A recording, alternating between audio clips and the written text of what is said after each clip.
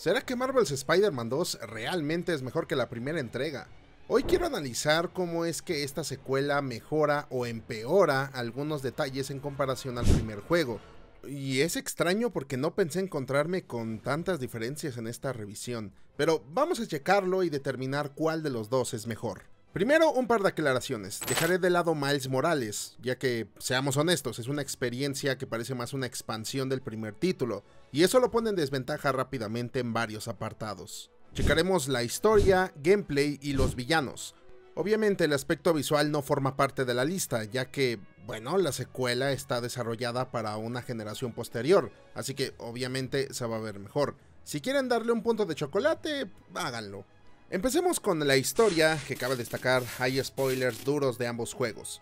Los dos cuentan con una estructura similar, dividido en tres actos que relatan cómo dos villanos principales ponen de cabeza la ciudad. Está Mr. Negative en su encrucijada por destruir a Norman Osborn, con un tercer acto que cierra con una breve pero efectiva aparición del Doctor Octopus que estalla en un clímax brutal que no hizo más que encantar y romper corazones de los fanáticos de Spider-Man para bien. Comencemos con el hecho de que la anticipación del Doc Ock fue brutal. Aunque su primera aparición es anunciada con brazos metálicos, el trabajo con el que elaboraron su historia y cómo poco a poco se va corrompiendo al mismo tiempo que conocemos detalles oscuros de su pasado, simplemente lo hace algo increíble. El poder volver al laboratorio en distintos puntos de la historia y notar cómo el Doc nos mintió en la cara todo este tiempo y su mente poco a poco se fue al demonio, duele y es una sensación extraña porque también sientes lástima sabiendo por todo lo que tuvo que pasar. Todo lo anterior está aderezado con la muerte de la tía May en el final, una decisión realmente dura considerando que la señora no toca tumba en los cómics, y hasta ese entonces no es como que la idea fuese tan utilizada. Tenemos un final fuerte y original. Sin duda superar eso va a ser muy difícil, en especial porque se notan muchos detalles que se plantearon poco a poco dentro de la narrativa, permitiendo que te des cuenta de detalles nuevos cuando rejuegas la experiencia y que dan mucho sentido a todo lo que está pasando.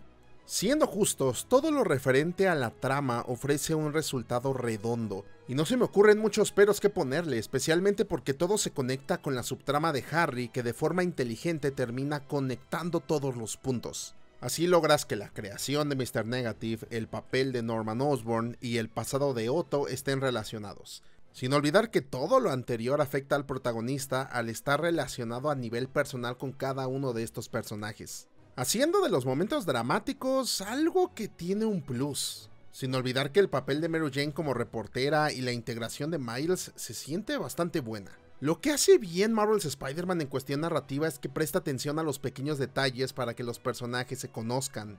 Spider-Man tiene ese carisma tan bello con el que puede conectar con la ciudad y, no sé, faltó bastante en la secuela. Hablando de la misma, sirve de conclusión para todos los arcos que quedaron abiertos en el pasado, con la inclusión de un agente externo, Craven el Cazador, mismo que, aunque no fue mencionado antes, se integra de forma natural en la historia. Nuevamente hay tres actos principales, dos enfocados en los cazadores y el tercero en Venom.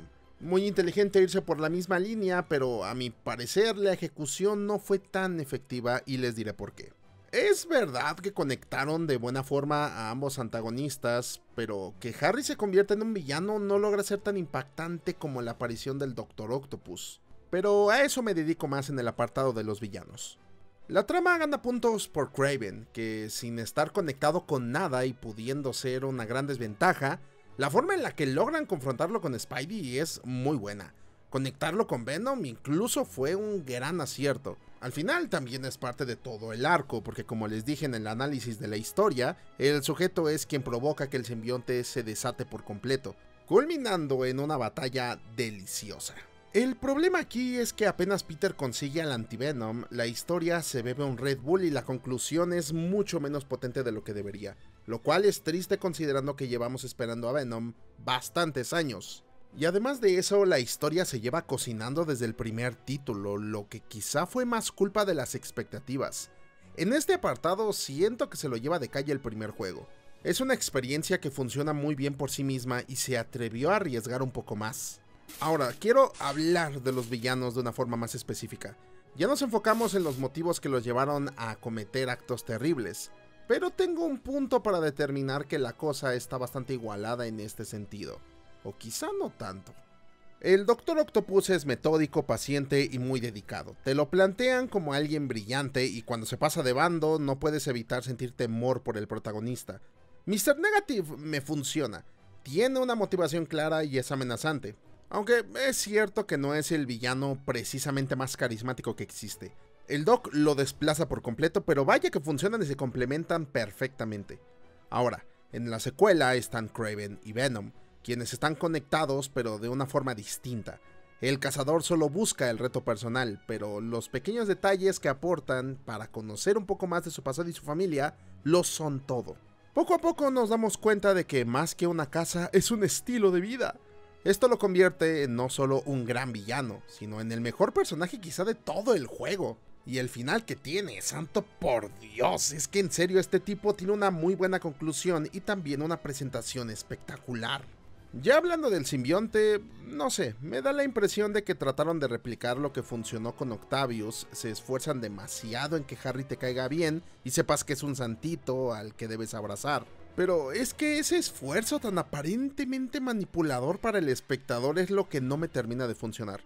Con el Doc, esta transformación es natural.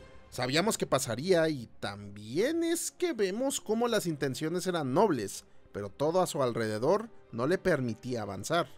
Y con Harry pasa lo mismo, pero bro, su proyecto tiene el nombre más cursi y raro, salvar al mundo, así que no sé, no puedo tomármelo en serio, no siento que sea una persona. Se nota que están leyendo sus diálogos porque es lo que toca. La ventaja que sí tiene esta secuela es que, por ejemplo, le dan buen trato a Mr. Negative. Además de que el resto de villanos no parecen solo ser criminales y ya, en el primer título, los Sinister Six no podrían importarme menos más allá del fanservice. Aquí sabemos que Tombstone y Misterio tratan de redimirse para ser útiles hacia el mundo. Y oye, también se esfuerzan en que conozcamos al Dr. Connors y sepamos por qué no solo es peligroso que se transforme en el lagarto, sino en el peso emocional que conlleva su relación con la familia. Está, está fuerte. Entonces tenemos villanos que funcionan en el primer juego, el Dr. Octopus es perfecto, pero la secuela en conjunto es mejor, ya que también conoces mejor a Sandman, sabes que tiene una hija y ayudas a que se reencuentren. creo que en este sentido tendré que darle un punto a ambos.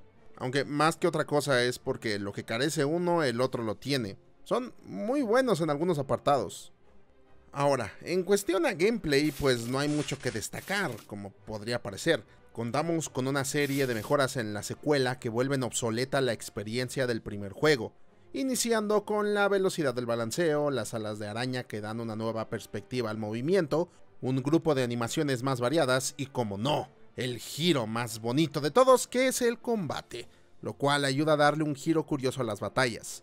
Y no olvidemos que el simbionte desatado es todo un placer. Aunque su gran aporte es, como vemos en la portada, que podemos controlar a dos Spider-Man a lo largo de la ciudad, lo que ayuda mucho a sentir menos estancada la experiencia porque, siendo sinceros, el primer juego podía llegar a sentirse lento. Y eso se arregla bastante bien en la secuela, donde sí, las misiones de Mary Jane siguen interrumpiendo la verdadera acción, pero al menos se controlan mejor y no pierdes cada 10 segundos por exigencias de sigilo sin gracia. Aquí fue donde Insomniac al parecer prestó más atención en la secuela y se nota llevándose un punto muy claro y bello en este apartado.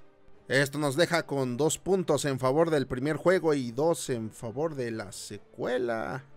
Ok, parece que esto determina que los dos son buenos y malos en algunas cosas, pero saquemos algo de todo esto.